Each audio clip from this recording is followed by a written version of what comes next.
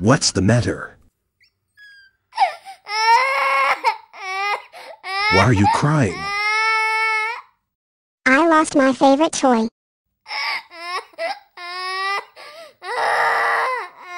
It's okay.